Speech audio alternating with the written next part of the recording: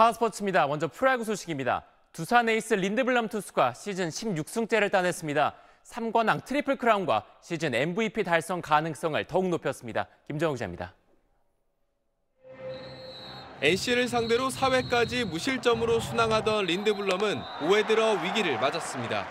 갑자기 제구가 흔들리면서 볼넷과 폭투 두 개를 기록했고 유격수 김재호의 실책으로 한 점을 내줬는데 노진혁을 삼진 처리해 추가 실점을 막았습니다.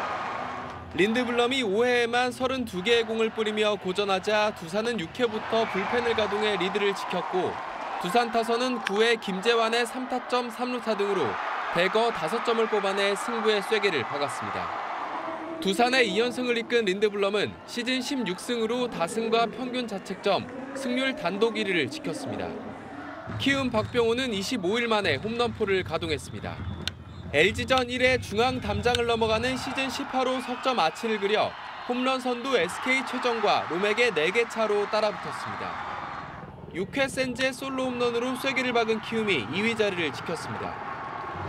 기아는 SK 타선을 7이닝 무실점으로 막은 에이스 양현종의 역으로 연패 탈출에 성공했습니다.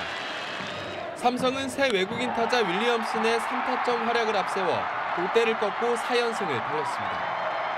KT의 3대 2로 진 한화는 팀 시즌 최다인 8연패 수렁에 빠졌습니다. SBS 김정우입니다.